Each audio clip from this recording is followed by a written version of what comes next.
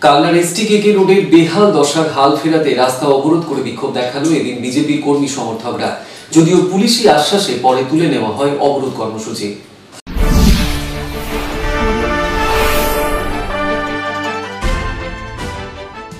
কালনার এসটিকেকে রোডের বেহাল দশা দীর্ঘদিনের, আর এই বেহাল দশার কারণে নিত্যদিনই দুর্ঘটনা ঘটে চলেছে। প্রতিনিয়তই এই রাস্তায় পড়ে গিয়ে হাসপাতালে ভর্তি হতে হচ্ছে সাধারণ মানুষকে। রাস্তা খারাপ হওয়ার কারণে গাড়ি যাতায়াত করতে গিয়েও গাড়ি ভেঙে যাচ্ছে ভেঙে যাচ্ছে গাড়ির যন্ত্রাংশ। ফলে গাড়ি ভেঙে পড়ে থাকছে রাস্তার মাঝে, আর এর ফলেই ব্যাপক যানজটেরও সৃষ্টি হচ্ছে। এসটিকেকে রোড সারাইয়ের দাবিতে তাই এদিন ভারতীয় জনতা পার্টির পক্ষ থেকে রাস্তা অবরোধ করা হলো। দীর্ঘক্ষণ এই অবরোধের জেরে ব্যাপক যানজটের সৃষ্টি হয়। খবর পেয়ে ঘটনাস্থলে ছুটে আসে কালনা থানার পুলিশ প্রশাসনের আধিকারিকরা। পরে বিজেপি কর্মী সমর্থকদের আশ্বাস দেওয়া হলে তুলে নেওয়া হয় অবরোধ। বিজেপি নেতৃত্ব বলছেন আপনারা প্রত্যেকে জানেন বিগত এক বছর ধরে এসটি রোডের বেহাল দশা।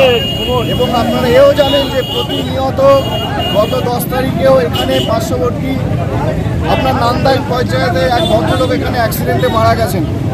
সেই সাধারণ মানুষের স্বার্থে আজকে বিজেপি আমরা রাস্তায় নেমেছি। অবিলম্বে প্রশাসনের পক্ষ থেকে বা বিজেপির পক্ষ থেকে যদি রাস্তা সারাইয়ের দাবি মান্যতা না দেওয়া হয়, তাহলে আমাদের রাস্তা অবরোধ চলবে।